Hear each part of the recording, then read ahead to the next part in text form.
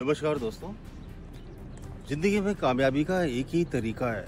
पता है क्या है वो सीक्रेट कंसिस्टेंसी बनाए रखिए कंटिन्यूटी बनाए रखिए। इस कंटिन्यूटी को ब्रेक करने की वजह से हमें फेलियर मिलते हैं और कोई रीज़न नहीं है। हम बड़े बड़े काम शुरू करते हैं नए नए काम शुरू करते हैं और क्या करते हैं? हमें बीच में ही ब्रेक कर देते हैं मुझे हमें आउटपुट नहीं मिलते। डिजायरेबल आउटपुट नहीं मिलते।